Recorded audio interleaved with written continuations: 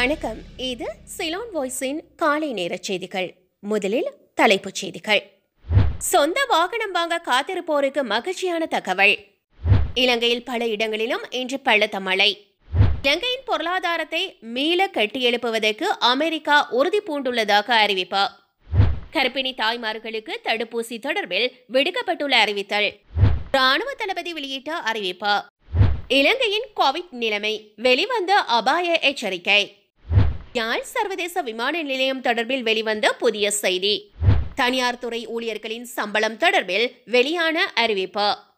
சுகாதார ஆலோசனைகளை பின்பற்றப்பட வேண்டும் சுதர்சனி பெர்னாண்டோ புள்ளே. அரசாங்கத்தினால் பறிமுதல் செய்யப்பட்ட படகுகள் தொடர்பில் தமிழக அரசாங்கம் நடவடிக்கை. எமது சேனலை சப்ஸ்கிரைப் செய்து எம்மோடு இணைந்திடுங்கள். இலங்கையில் கடந்த வருடம் முதல் வாகனம் இறக்குமதி செய்வதற்கு தடை விதிக்கப்பட்டுள்ளது. இதனைத் தொடர்ந்து நாட்டில் உள்ள வாகனங்களின் விலையில் ஏற்பட்டுள்ள பாரிய அதிகரிப்பை குறைப்பதற்கு அரசாங்கம் தீர்மானித்துள்ளதாக தெரிவிக்கப்பட்டுள்ளது. அதிக விலையில் வாகனங்களை விற்பனை செய்வதன் காரணமாக எதிர்வருகின்ற காலங்களில் மீண்டும் வாகனங்கள் இறக்குமதி செய்ய அனுமதி வழங்கிய பின்னர் லீசிங் நிறுவனங்கள் பாரிய வீழ்ச்சியடைந்து பொருளாதாரத்திற்கு பாதிப்பு ஏற்படக்கூடும் என அரசாங்கம் தெரிவித்துள்ளது. அதற்கமைய தற்போது இலங்கையில் உள்ள வாகனங்களை விற்பனை செய்யும் போது வாகனங்களின் நிறம் உற்பத்தி மற்றும் ஓட்டக்கூடிய தூரம் போன்றவற்றை அடிப்படையாக கொண்ட முறையூடாக குறைந்த விலையில் லீசிங் வசதிகள் வழங்கப்படுகின்றன. இதனூடாக சந்தையில் நிதியை நிலையாக்க வைப்பது மற்றும் பாரிய அளவிலான வாகன விலையை கட்டுப்படுத்துவதே அரசாங்கத்தின் நோக்கமாக இருக்கிறது. இந்த தீர்மானத்தை செயற்படுத்துவதன் மூலம் சந்தையில் தற்போது உள்ள வாகனங்களின் விலை குறிப்பிடத்தக்க மட்டத்திற்கு குறைவடையும் என பொருளாதார நிபுணர்கள் தெரிவித்துள்ளனர். கோவிட் தொற்றினை தொடர்ந்து வாகன இறக்குமதிக்கு தடை விதித்தமையின் காரணமாக அரசாங்கத்தினால் இருபத்தி ஐயாயிரம் கோடி ரூபாய் சேமிக்க முடிந்ததாக நிதி அமைச்சின் தகவல் வட்டாரங்கள் தெரிவித்துள்ளன. இலங்கையின் இன்றைய வானிலையில் மேல் சப்ரகமுவ மத்திய மற்றும் வடமேல் மாகாணங்களிலும் காலி மற்றும் மாத்தறை மாவட்டங்களிலும் மழை பெய்யும் என்று வானிலை மையம் எதிர்ப்பு கூறியுள்ளது. மேல் சப்ரகமுவ மற்றும் மத்திய மாகாணங்களிலும் காலி மற்றும் மாத்தறை மாவட்டங்களிலும் சில இடங்களில் எழுபத்தி ஐந்து மில்லிமீட்டருக்கு அதிகமான மழை பெய்யக்கூடும். அனுராதபுரம் மாவட்டத்தில் ஒரு சில இடங்களில் மழை பெய்யும். ஊவா மாகாணத்திலும் அம்பாறை மட்டக்களப்பு மற்றும் ஹம்பாந்தோட்டை மாவட்டங்களிலும் பிற்பகல் இரண்டு மணிக்கு பிறகு ஒரு சில இடங்களில் மழை அல்லது இடியுடன் கூடிய மழை பெய்யக்கூடும். மத்திய மலைநாட்டின் மேற்கு சரிவு வடக்கு வடமத்திய மற்றும் வடமேல் மாகாணங்கள் மற்றும் ஹம்பாந்தோட்டை மற்றும் திருகோணமலை மாவட்டங்களில் நாற்பது முதல் ஐம்பது கிலோமீட்டர் வேகத்தில் பலத்த காற்று வீசக்கூடும் என்று வானிலை மையம் அறிவித்துள்ளது. கர்ப்பிணிகள் தமது கர்ப்ப காலத்தில் தடுப்பூசியை பெற்றுக்கொள்வதன் மூலம் அவர்களுக்கு மாத்திரமின்றி பிறக்கவிருக்கின்ற சிசுவுக்கும் நோய் எதிர்ப்பு சக்தி கிடைக்கப்பெறும் என்று டிசோய்சா மகளிர் வைத்தியசாலையின் பிறந்த குழந்தைகளுக்கான சிகிச்சை பிரிவின் விசேட வைத்திய நிபுணர் அமில பெர்னாண்டோ தெரிவித்துள்ளார். இலங்கையில் வழங்கப்படுகின்ற செனஃபோம் அஸ்ட்ரசெனிகா பைசர் மற்றும் மாடர்னா ஆகிய எந்த தடுப்பூசியினாலும் அதனை கர்ப்ப காலத்தில் பெற்றுக்கொள்வது பாதுகாப்பானதாகும் என்று அவர் தெரிவித்துள்ளார். இதேவேளை அமெரிக்காவில் தடுப்பூசி பெற்றுக்கொண்ட கர்ப்பிணி ஒருவரின் பிறந்த குழந்தைக்கு நோய் எதிர்ப்பு சக்தி உருவாகியுள்ளதை மேற்கோள் காட்டி இதனை அவர் தெரிவித்துள்ளார். நாட்டின் முப்பது வயதுக்கு மேற்பட்ட மக்கள் தொகையில் அறுபது சதவீதம் பேருக்கு தடுப்பூசி முழுமையாக போடப்பட்டுள்ளதாக கோவிட் தடுப்பு செயலணியின் தலைவரும் ராணுவ தளபதியுமான ஜெனரல் சவேந்திர சில்வா தெரிவித்துள்ளார். ஊடகம் ஒன்றுக்கு அளித்த பேட்டியில் அவர் இதனை தெரிவித்துள்ளார். இன்றைய நிலவரப்படி முப்பது வயதுக்கு மேற்பட்டவர்களில் அறுபது சதவீதம் பேருக்கு தடுப்பூசி போட்டு முடித்துவிட்டோம். தடுப்பூசி போடுவதை தொடர்வோம் மற்றும் இன்னும் டோஸ் பெறாத அனைவரும் அதனை பெற முன்வருமாறு கேட்டுக்கொள்கின்றோம் என்று அவர் கேட்டுக்கொண்டுள்ளார். இலங்கையின் இறப்பு விகிதம் ஒவ்வொரு வாரமும் பதினேழு வீதம் அதிகரித்து வருவதாக வேர்ல்ட் மெட்டர்ஸ் டாட் இன்ஃபோ என்ற இணையதளம் தெரிவித்துள்ளது. கடந்த வெள்ளிக்கிழமை முடிவடைந்த வாரத்தில் இலங்கையின் கோவிட் நைன்டீன் இறப்புகளின் எண்ணிக்கை ஆயிரத்து முன்னூற்று அறுபத்தி ஏழு ஆகும். அத்துடன் கோவிட் நைன்டீன் நோயாளிகள் முந்தைய வாரத்தை விட ஒன்பது வீதம் அதிகரித்திருப்பதாகவும் அந்த இணையதளம் சுட்டிக்காட்டியுள்ளது. கடந்த ஏழு நாட்களில் மொத்தம் முப்பத்தி நான்காயிரத்து முன்னூற்று அறுபத்தி ஐந்து கோவிட் நைன்டீன் நோயாளிகள் பதிவு செய்யப்பட்டுள்ளனர். இந்த வாரம் உலகளாவிய கோவிட் நைன்டீன் இறப்புகளின் மொத்த எண்ணிக்கை அறுபத்தி ஒன்பதாயிரத்து அறுபத்தி ஐந்து ஆகும். இது முந்தைய வாரத்தை விட பூஜ்ஜியம் புள்ளி ஏழு வீதம் அதிகரிப்பு. கடந்த வாரத்தில் நான்கு புள்ளி ஐந்து மில்லியன் புதிய கோவிட் நைன்டீன் நோயாளர்கள் பதிவு செய்யப்பட்டுள்ளனர். அதே காலகட்டத்தில் மூன்று புள்ளி எட்டு மில்லியன் தொற்றிலிருந்து குணமடைந்துள்ளதாகவும் அந்த இணையதளம் மேலும் சுட்டிக்காட்டியிருக்கிறது.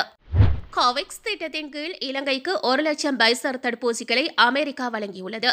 இலங்கைக்கான அமெரிக்கா தூதரகம் தன்னுடைய ட்விட்டர் பதிவில் இதனை தெரிவித்துள்ளது. குறித்த தடுப்பூசிகளை ஏற்றி வந்த விமானம் இன்று பண்டாரநாயக்க விமான நிலையத்தை வந்தடைந்துள்ளன. கோவிக்ஸ் வேலை திட்டத்தினூடாக பத்தாயிரம் பைசர் தடுப்பூசிகள் அமெரிக்காவினால் இலங்கைக்கு நன்கொடையாக வழங்கப்பட்டுள்ளது. உயிர்களை பாதுகாத்து பொருளாதாரத்தை மீள கட்டியெழுப்புவதற்கு அமெரிக்கா உறுதி பூண்டுள்ளதாக அமெரிக்க தூதரகம் மேலும் தெரிவித்துள்ளது. நாட்டில் தனியார் துறை ஊழியர்களின் குறைந்தபட்ச மாத ஊதியம் மற்றும் குறைந்தபட்ச தினசரி ஊதியம் அதிகரிக்கப்பட்டுள்ளது. தொழில் ஆணையர் ஜெனரல் பிரபாத் சந்திரகீர்த்தி கூறுகையில் ஆகஸ்ட் மாதம் இருபதாம் தேதி முதல் தேசிய குறைந்தபட்ச ஊதியம் அமலுக்கு வருகின்றது. இந்த தேசிய குறைந்தபட்ச ஊதியத்தில் இரண்டாயிரத்து ஐந்து மற்றும் இரண்டாயிரத்து பதினாறாம் ஆண்டின் வரவு செலவு திட்ட நிவாரண கொடுப்பனவுகளை சேர்த்து சம்பளம் கணக்கிடப்பட வேண்டும். அதன்படி தேசிய குறைந்தபட்ச ஊதியம் மாதாந்தம் பதினாறாயிரம் அல்லது தினசரி ரூபாய் ஆறுநூற்றி நாற்பதாகும் என்றும் அதில் தெரிவிக்கப்பட்டுள்ளது. இலங்கை படையினரால் சிறைப்பிடிக்கப்பட்ட தமிழக மீனவர்களின் அறுபத்தி மூன்றுக்கும் மேற்பட்ட இயந்திர படகுகளை உடனடியாக விடுவிக்க நடவடிக்கை எடுப்பதாக தமிழக அரசாங்கம் உறுதியளித்துள்ளது. இலங்கை அரசாங்கத்தின் பாதுகாப்பில் தற்போது தமிழக மீனவர்கள் யாரும் இல்லை. எனினும் கடந்த இரண்டு ஆண்டுகளில் இலங்கை அரசாங்கத்தினால் பறிமுதல் செய்யப்பட்ட அறுபத்தி மூன்று படகுகளை மீட்க தமிழக அரசாங்கம் அனைத்து நடவடிக்கைகளையும் தொடர்ந்து எடுத்து வருகிறது என்று தமிழக அரசாங்கம் அறிக்கையொன்றில் தெரிவித்துள்ளது. கடல் மீன்பிடியில் ஈடுபட்டுள்ள தமிழக மீனவர்களின் நலனுக்காக பல்வேறு வசதிகளை செய்வதில் அரசாங்கம் ஆர்வமாக உள்ளது என்றும் தமிழக அரசாங்கம் தெரிவித்துள்ளது. யாழ் சர்வதேச விமான நிலையத்தில் பாரிய விமானங்கள் தரையிறக்கக்கூடிய வகையில் ஓடுபாதைகளை அபிவிருத்தி செய்வதற்கான நிதி இருந்தும் அரசாங்கம் அதனை செயற்படுத்தாமல் இருக்கின்றதாக நாடாளுமன்ற உறுப்பினர் சுரேன் ராகவன் தெரிவித்தார். வடக்கில் அரசாங்கத்தினால் முன்னெடுக்கப்பட்டு வருகின்ற அபிவிருத்தி செயற்திட்டங்கள் முன்னேற்றம் தொடர்பில் தமிழ் பத்திரிகை ஒன்று எழுப்பிய கேள்விக்கு பதிலளிக்கும் போதே நாடாளுமன்ற உறுப்பினர் சுரேன் ராகவன் இதனை குறிப்பிட்டார். வடக்கு கிழக்கு மாகாணங்களை பொறுத்தவரையில் அபிவிருத்தி திட்டங்களை நடைமுறைப்படுத்த முடியாத வகையில் இந்த காலகட்டங்களில் அரசாங்கம் பாரிய நிதி நெருக்கடியை சந்தித்து வருவதை குறிப்பிட வேண்டும்.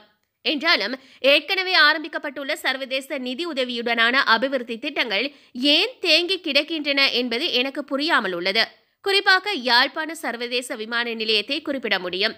அந்த விமான நிலையத்தில் பாரிய விமானங்கள் தரையிறங்கக்கூடிய வகையில் ஓடுபாதைகளை அபிவிருத்தி செய்வதற்கான நிதி அரசாங்கத்திடம் இருக்கின்றது.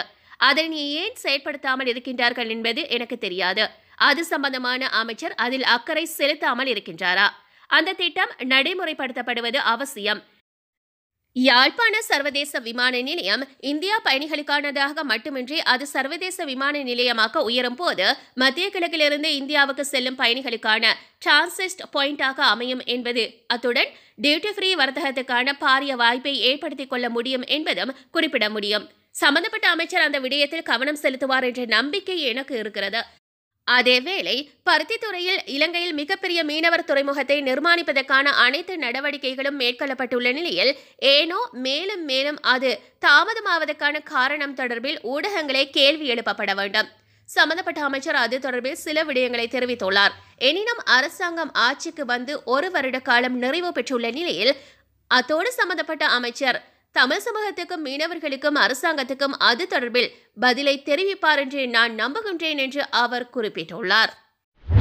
மக்கள் சரியான சுகாதார ஆலோசனைகளை பின்பற்றப்படவில்லை என்றால் நாடு மூடப்பட்டிருந்தாலும் கொரோனா பரவுவது கட்டுப்படுத்தப்பட மாட்டாது என ராஜாங்க அமைச்சர் சுதர்சனி பெர்னாண்டோ புலே தெரிவித்துள்ளார். நாடு மூடப்பட்டிருந்தாலும் மக்கள் தேவையில்லாத இடங்களில் அலைந்து தெரிந்தால் கொரோனா பரவுவது மேலும் அதிகரிக்கும். எனவே ஒவ்வொருவரும் தங்களுடைய பொறுப்பை நிறைவேற்ற வேண்டும். இது வாழ்க்கையுடனான ஒரு ஒப்பந்தம் என்பதை மனதில் கொள்ள வேண்டும் என்று அவர் குறிப்பிட்டுள்ளார். நாடு முழுவதும் வேகமாக பரவி வருகின்ற டெல்டா வகையை கட்டுப்படுத்த அனைவரும் தடுப்பூசி போட வேண்டியது அவசியம் என்றும் அவர் குறிப்பிட்டுள்ளார்.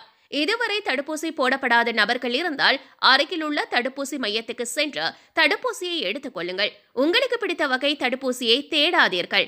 நாடு மூடப்பட்டாலும் மக்கள் மூக்கையும் வாயையும் மூடாமல் இருந்தால் ஒரு மீட்டர் தூரத்தை வைத்துக்கொண்டு இருக்காமல் தேவையில்லாமல் நெரிசலான இடங்களுக்கு சென்றால் வைரஸ் பரவலை நிறுத்த முடியாது என்றும் அவர் குறிப்பிட்டுள்ளார்.